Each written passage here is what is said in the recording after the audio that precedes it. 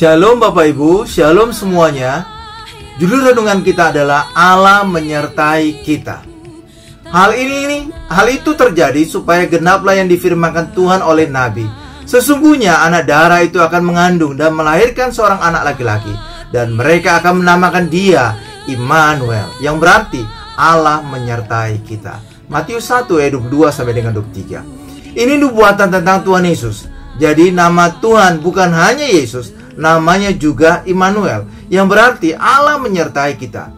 Betapa menghibur mengetahui Allah yang maha besar, yang juga Bapa Surgawi kita, selalu bersama kita, selalu menyertai kita.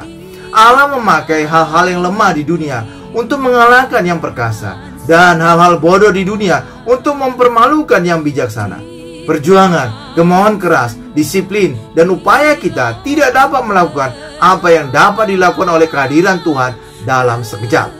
Ketika kita bicara tentang Yesus, kehadirannya mengambil yang merusak hidup Anda. Anda diubahkan bukan dengan berjuang, tetapi dengan memandang Yesus dan percaya bahwa Dia mengasihi Anda dan ingin menyelamatkan Anda. Apa artinya Allah menyertai kita? Kita harus memahaminya seperti orang-orang Yahudi memahaminya.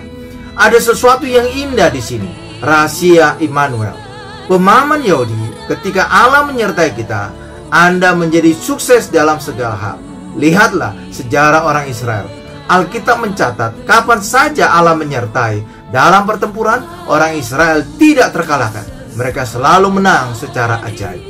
Ketika Alkitab berkata bahwa Yesus menyertai Anda, maka Ia akan membantu Anda membalikkan keadaan buruk dan mewujudkan hal-hal baik untuk Anda. Yesus tidak bersama Anda untuk mengutuk, menghakimi, atau mencari-cari dosa Anda. Ketika Allah yang Maha Kuasa menyertai Anda, hal-hal baik akan terjadi di dalam Anda, di sekitar Anda, dan melalui Anda.